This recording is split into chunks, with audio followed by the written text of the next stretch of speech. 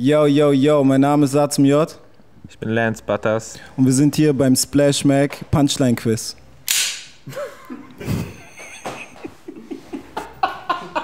Ja, herzlich willkommen beim Punchline-Quiz mit A zum J und Lance Butters. Yo, yo, yo. Du hast dir jetzt Verstärkung geholt ja, für, für, den, für den zweiten Teil Punchline-Quiz.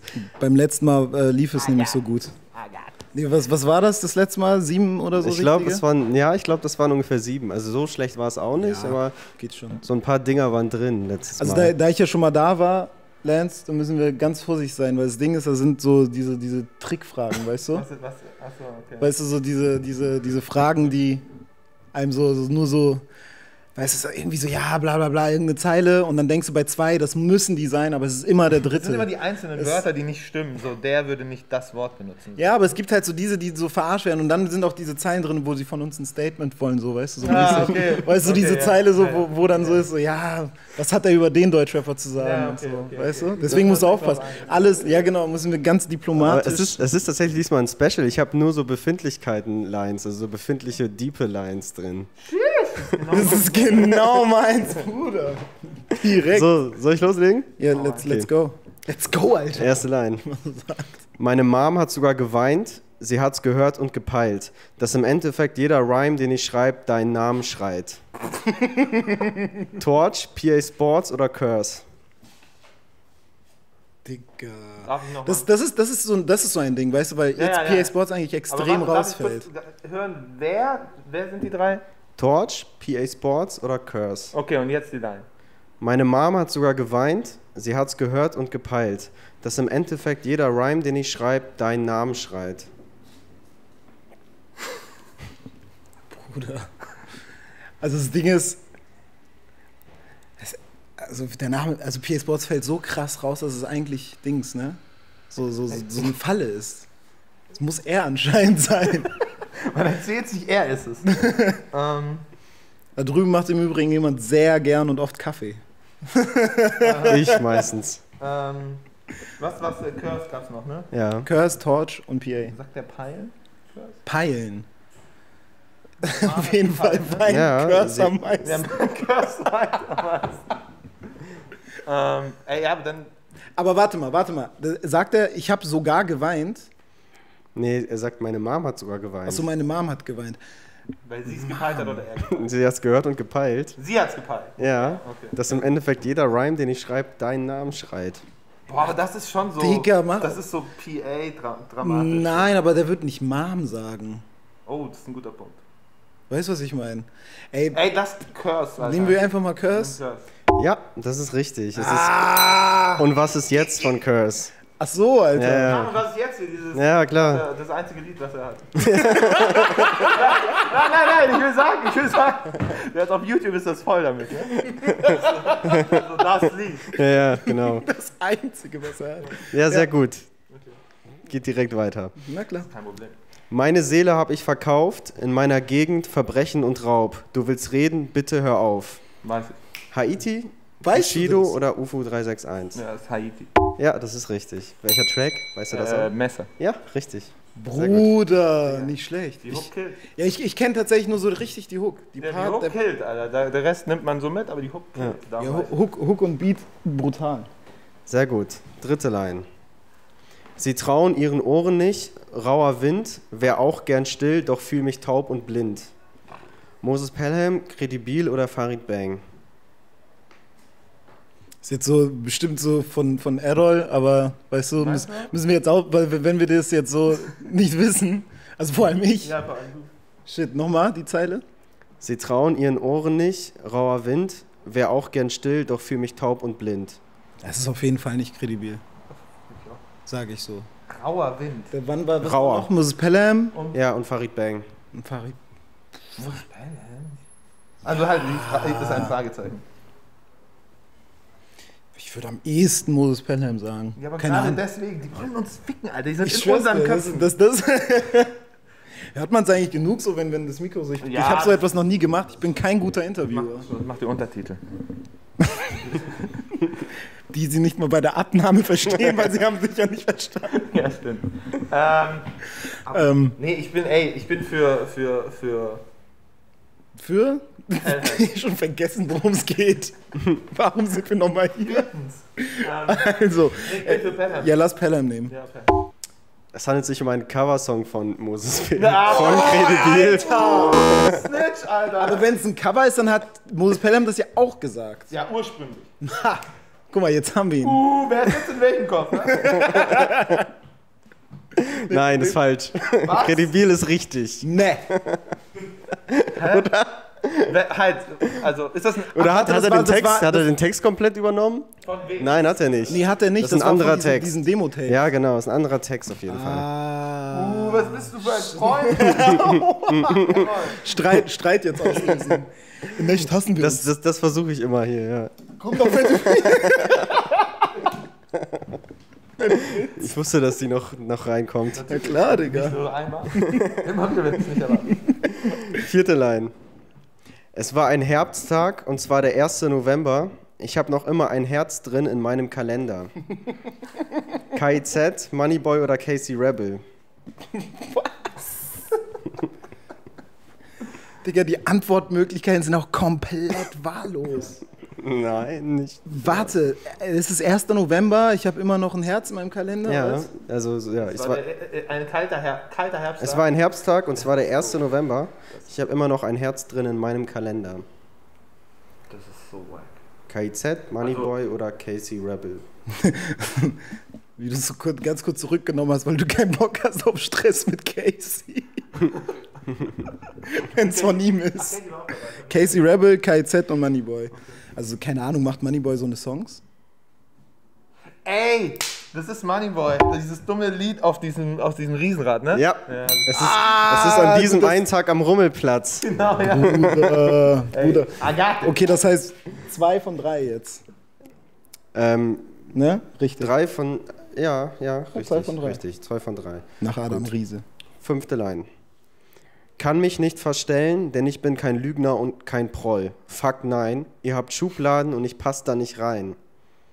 Tai Chi, Casper oder Frauenarzt? Ey, äh, ich, ich sag Tai einfach, Chi ich sag einfach Tai Chi. So. Was halt? Alter, Warte, so, bevor wir hier natürlich noch nicht der lock. heißt doch jetzt Aimo Bruckmann. Ist es Tai Chi oder Aimo Sag den Brockmann? Namen mal. Ist es, ist es Tai Chi oder Aimo Brockmann?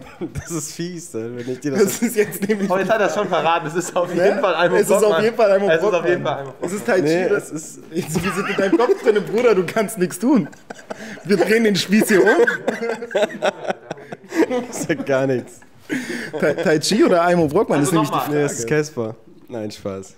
Ja, siehst du, der, er hat sich verraten, Bruder. Das ist nicht Casper. Jetzt, Was waren die Antwortmöglichkeiten? also nochmal. Ja. Rewind that time. Tai Chi, Casper oder Frauenarzt? Okay, Casper dann ist jetzt es nochmal. nicht. Jetzt nochmal die Line. Kann mich nicht verstellen, denn ich bin kein Lügner und kein Proll. Fakt nein, ihr habt Schubladen und ich passe da nicht rein. Es ist, ich sag, Meinst du nicht, dass das Casper ist? nein, das ist nicht Ben. Also, nee, nee, nee. Was safe, war's nochmal? safe nicht. Das Ding ist halt, äh, das, die letzte Möglichkeit war Casey. Nein, Nee, das ist Frauenarzt. Casey war bei der letzten Frauenarzt. Dings, ne? Frauenarzt, ja, Frauenarzt ist es nicht. Ist auf jeden Fall Tai er- Chi safe. So dieses Fuck, nein. Das Ja. ist auf jeden Fall Tai, Chi. Tai Chi, Lauf. War auf der Juice-CD 2007. Da war er noch Tai Chi. Ja, da war ja noch Tai Chi. Siehst du, da, damit haben wir ihn. Da, hat, da hat er noch sein anderes Ego benutzt. Sechste Line. Der Waldgang setzt in mir die alten Kräfte frei. Der Wind flüstert uns zu, dass es am besten sei. MC, MC Bomber, Blumentopf oder Frankie Kubrick? Karin Frank oder Frankie Kubrick? Nee, Frankie. Ah, Psych. Psych. Ja, das Ding ist, ähm, ich, ich, ich bin voll hängen geblieben auf diesem Waldgang. Weil wer von denen geht so im Wald spazieren, ist die Frage. Also MC Bomber geht höchstens ironisch äh, spazieren im Wald, auf dem Waldgang, deswegen wird es fast schon passen, würde ich sagen, weil so, das ist so an den Haaren, na, an, aus der Nase gezogen, an den Haaren herbeigezogen. Bruder, was sagt man da? aus den Nasen herbeigezogen. An den Haaren herbei. an den Haaren herbeigezogen, ne? Und äh, was war das noch? Bomber? Blumentopf und Blum- Frankie Kubrick. Oder Aber Blumentopf bin ich halt raus. Ich kenne nix. Kubrick geht, also Frankie Kubrick geht nicht im Wald spazieren, würde ich einfach mal so sagen. Wow. Keine Ahnung, Digga. Wenn er richtig lit drauf auf Drogen ist, dann geht er immer so im Wald ein bisschen rumschwazen. aber, aber Blumentopf, Digga, die, die, die mal sehen aus, als würden die richtig gerne im Wald spazieren. Willst du nochmal hören? Ja, jetzt komm raus. Der Waldgang setzte mir die alten Kräfte frei. Der Wind flüstert uns zu, dass es am besten sei. Und jetzt die Antworten? Digga, MC Bomber, Blumentopf, Frankie Kubrick. Alter, das ist halt. Das Problem ist, ich habe noch nie einen Song von Blumentopf gehört in meinem Leben. Hast du schon mal einen gehört? Nein, ich sag ja. Nichts von dem. Und Von Frankie Kubrick kenne ich noch auch Du nicht. blutest Von MC, von MC Bomber kenn ich Das auch nichts.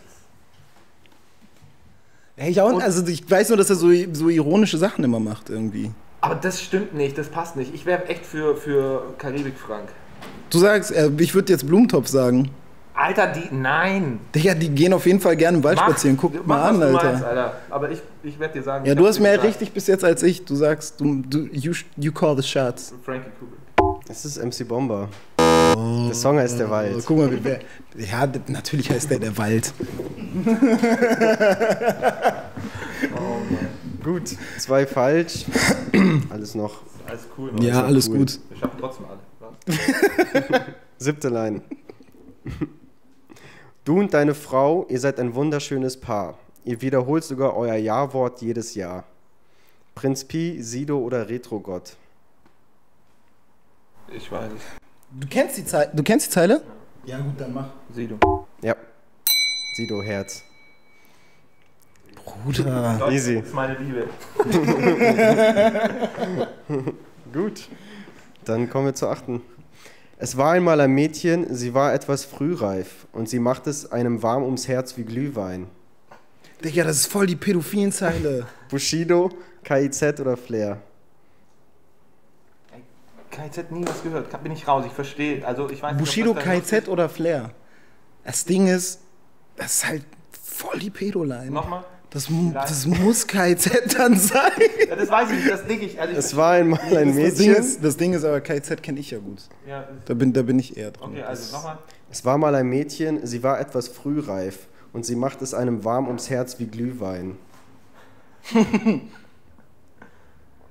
Du hast da hinten ein bisschen Antworten waren gen- K- KZ. Oh, wir haben, wir haben einen Tipp, Was? Wir haben einen Tipp bekommen. Ich habe nicht gehört. Ich habe nicht gehört. Ich schwöre, ich wusste das. Aha.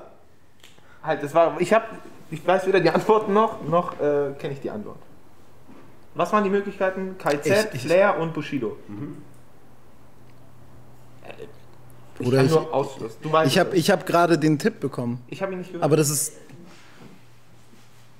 Was denn? Ich habe gerade einen Tipp bekommen von irgendwo. Ja, her. Digga, Telefonjoker, Bruder. Aber das, das, das, das weiß das, die, die Menge weiß das. Die wollen das nicht. Was war denn der Tipp?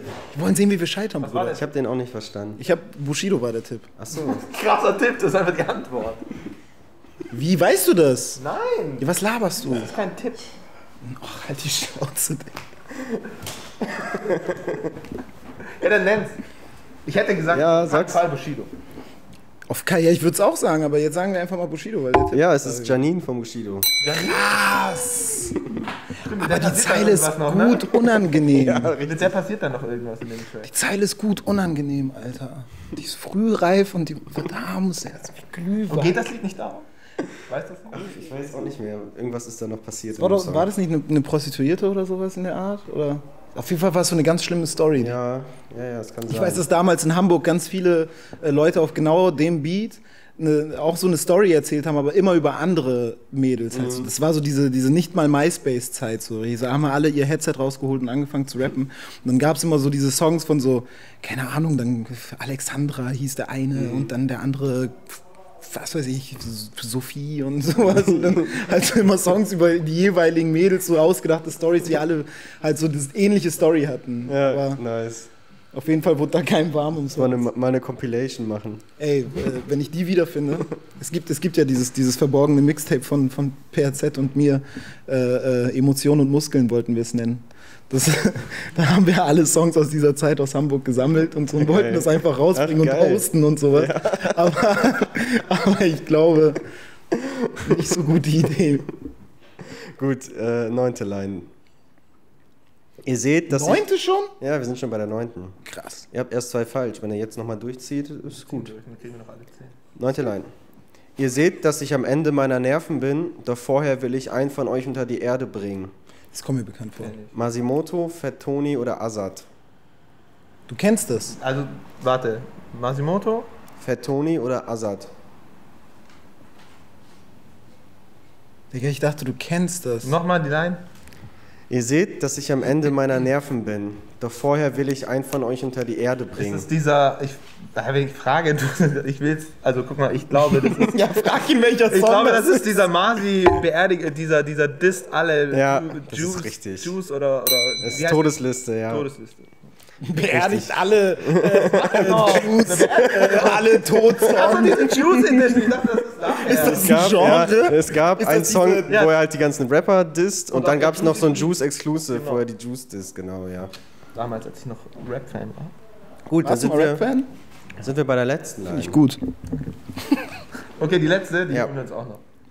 Er lebt an einem Pfeiler an der Treppe, wo er da sitzt, apathisch, starrt er in das Dunkle und fühlt gar nichts.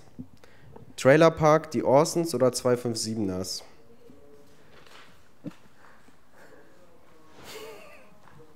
Damn. Who knew? Damn, who knew? Was? Also, wer ist apathisch und sitzt an der Treppe?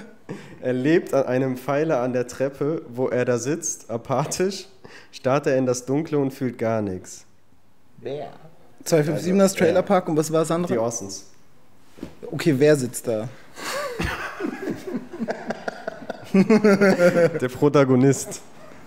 Der Protagonist. Ja. Warum ist der. Aber nicht der, der es rappt.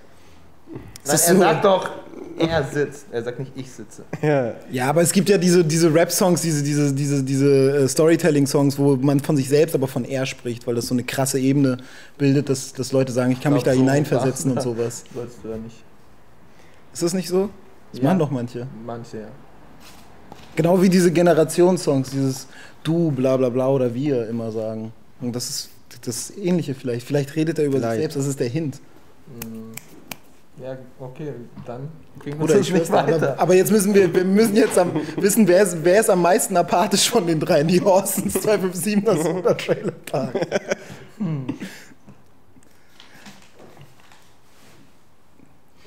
Oh, Das ist echt. hm. Damn. Who knew? Ähm, Ja. Also keine Ahnung, die Orsons äh, würde für mich am ehesten noch passen. Ja. Außerdem ist das wieder dieses Ding, weißt du, die fallen am meisten noch raus aus den Gruppen. Und ich kann mir vorstellen, dass es nur so, weißt du, so dieser Trick ist, wir nehmen, nehmen einfach Gruppen, ja. weißt du, als drei Antwortmöglichkeiten. Also ich würde Ich würde sagen Orsons tatsächlich. Weil 257 das machen so eine Art von Songs eigentlich nicht, das klingt zu ernst. Ja, aber vielleicht wollten die wieder so ein Radio-Ding machen. Nee, da machen die was ganz anderes. Da machen die doch irgendwie mit, mit Kiffen und, und äh, Ballermann und Was? Holland und so. Holland. Ja, Ja, stimmt. die machen dann eher sowas. Ja, einfach. Und äh, das klingt ja voll ernst. Das klingt wie so. Aber Also, soll es das nicht? na, Mann, das ist halt das, das sind Orsons. Orsons. Das hat bestimmt. Ich, ich ich sag Orsons, ich sag Cars hat das gesagt. Ähm, Orsons ist richtig, ist Atua gesagt. Echt? Uh, Aber Bruder, die was ist Orsons, Bruder. Was soll das denn, Digga? Keine Ahnung. Echt? Ja, Welcher das- Song ist Ja, das? das ist äh, zum Mond. Das war der von vom Die Herrlichkeit in Ewigkeit, bla bla bla, Ah, okay, Album krass. von Ja, ja, ja, ja. 2009. Aber guck mal, weißt du, was nämlich jetzt mein, mein Tipp noch gewesen wäre, warum auch Trailer Park nicht? Weil der Song versucht ja irgendwie dir noch, glaube ich, irgendwie noch so, so, so eine krasse Message für dein, für dein Leben mitzugeben. Ja, aber ich dachte, das ist der Twist daran, dass die, wenn man die, den Text weiterliest, dass er dann komplett wieder nee, nee, nee, Bruder, ich hatte einfach recht. Wir, haben's, wir, haben, wir haben jetzt acht, ne? Ja, ach, Das nächste Mal bringe ich Das noch heißt- einen Homie mit und dann habe ich neun. so machen wir das. Wir sind fertig, ja. nice, Dankeschön. So, jetzt noch mal.